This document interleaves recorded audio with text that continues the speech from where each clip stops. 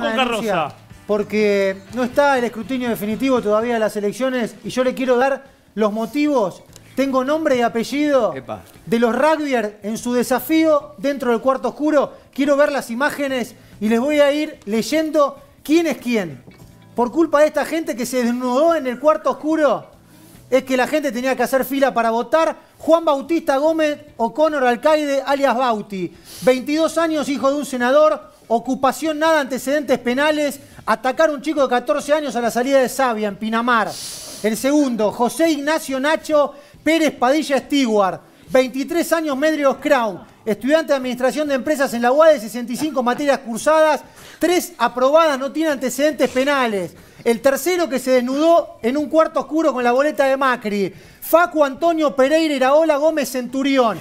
20 años vive en Estados Unidos. Vino a votar en el avión privado del padre, fan de Agapornis, militante del ARI. Lloró toda una tarde el retiro de la política de Carrió. Estuvo dos, pres- dos días preso por atropellar con el cuatri a un boliviano en Valeria del Mar. El cuarto, Flavio.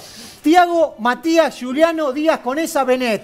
25 años conocido como Pipi. Vive en Olivos con su papá y con la mucama, no estudia ni trabaja. Tiene 150 seguidores en Instagram. Sube 17 historias por día. Es socio de los Jaguares, no posee antecedentes penales. Dame el último. Juan Gonzalo Torres Pucho Midway, 20 años. Estudia arquitectura en la UCA, le gusta el helado de crema del cielo. Es promotor de viajes de egresados, marchó a favor de las dos vidas con una bandera que decía Cristina Chorra.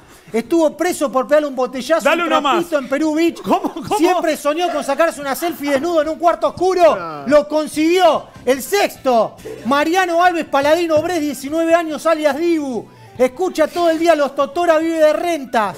Cursó tres materias de la carrera de dirección en negocios globales en la Universidad de Belgrano. Abandonó porque era muy difícil. Entrena a los uno más. M16 del Club de Rugby de San Fernando. Detenido por manejar la camioneta del padre con 7.8 grados de alcohol en sangre. El séptimo, Cristóbal María Jiménez Avaroa Carrol, conocido como la Queen, 27 años. Hijo de un importante comisario de zona norte, le gusta el Absolute de pera con Powerade de frutas tropicales. Estuvo preso 24 horas por mentir con su identidad cuando pidió un frappuccino moca en el Starbucks de Aeroparque. Le borraron los antecedentes penales. El octavo tengo y el noveno también. El octavo y nos vamos. Juan Estefano Pérez Díaz Metili, licenciado en Relaciones Internacionales, pagó 7 mil dólares el título. Amante de los gatos, no votó en las pasos porque estaba esquiando en Aspen.